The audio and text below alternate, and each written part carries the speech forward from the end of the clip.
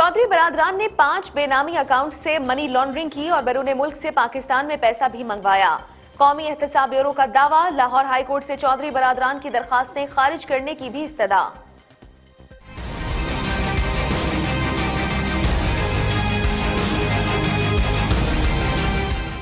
चौधरी बरादरान के खिलाफ आमदन से जायद इसातों के केस में नैब इन्वेस्टिगेशन में अहम पेशरफ सामने आई है। नैब रिपोर्ट में दावा किया गया है कि चौधरी बरादरान ने पाँच बेनामी अकाउंट से मनी लॉन्ड्रिंग की। लाहौर हाई कोर्ट में जमा कराई गई नैब रिपोर्ट मंजर आम पर आ गई है, जिसमें कहा गया है कि उन्नीस में चौधरी शुजात और इनकी फैमिली के इक्कीस लाख के असासे थे, जो दो हज़ार उन्नीस में इक्यावन करोड़ चौरासी लाख ऐसी तजावुज कर गए।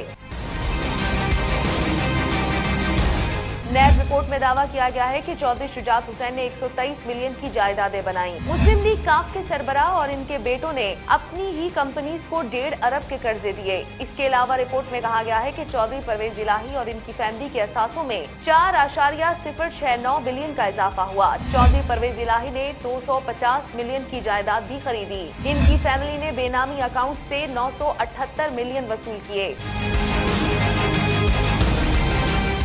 कौमी एहतसाब ब्यूरो की रिपोर्ट में दावा किया गया है कि चौधरी बरादरान आमदन से जायद असातों के बारे में बताने में नाकाम रहे। नैब कानूनी तकाजे पूरे करके आमदन से जायद असासों की इन्वेस्टिगेशन कर रहा है।